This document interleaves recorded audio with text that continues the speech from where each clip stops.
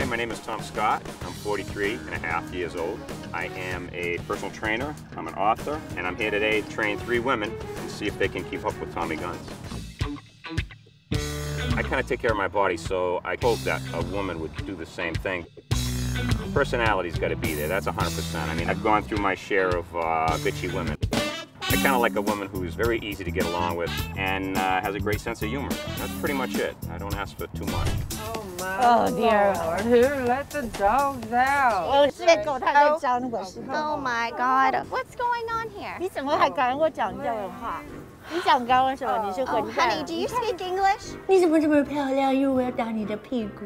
And in fact, I'm saying, I saw you bending over and taking a ass.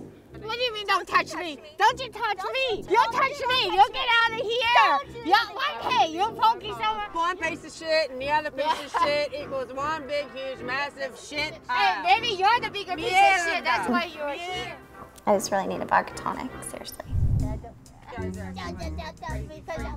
Yeah, Bruce Lee is my brother. That's right. Excuse me, excuse me. Uh, hello, ladies. Uh, my name is Tom. Oh, you're so cute.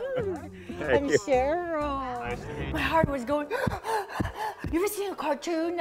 Literally, the heart is pounding like this. Well, usually it's a big bad wolf, but just pretend I'm that big bad wolf. So I met Red, and you know, I saw her and her boobs, and you know, I'm into fake boobs. That's my thing. Oh, hello there, Tom. Hi. I like your accent. Thank you. What a handsome man indeed. I'd like to see him come over to my house sometime. Hi, Yeah. Tom. I'm Tiffany. I'm a lawyer. Hi.